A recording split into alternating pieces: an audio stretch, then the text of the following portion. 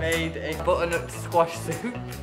Um, we started with the onions, celery, peeled and chopped carrots, got pepper involved, made some bread for with the soup later. I learned also how to do cross chop, and I never done that before. It'll give me the skills to like cook my own healthy meals and it'll make my diet a lot better. Bread is worldwide. Best, the best I ever had. I'm a food revolutionary.